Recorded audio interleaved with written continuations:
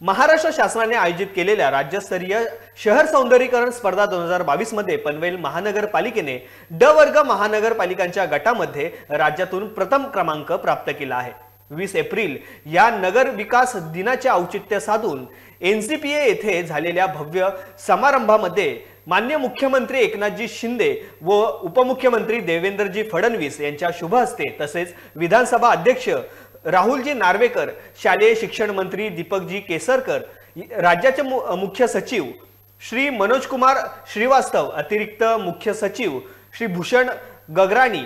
प्रधान सचिव सोनिया सेठी आयुक्त तथा संचालक किरण कुलकर्णी यांच्या प्रमुख उपस्थितीत पनवेल महानगरपालिकेच्या अधिकाऱ्यांचा रुपये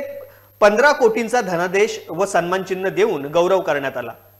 पनवेल महानगरपालिकेच्या वतीने महानगरपालिकेचे आयुक्त तथा प्रशासक गणेश देशमुख अतिरिक्त आयुक्त डॉक्टर प्रशांत रसाळ उपायुक्त सचिन पवार सहाय्यक आयुक्त डॉक्टर वैभव विधाते यांनी हा पुरस्कार स्वीकारला.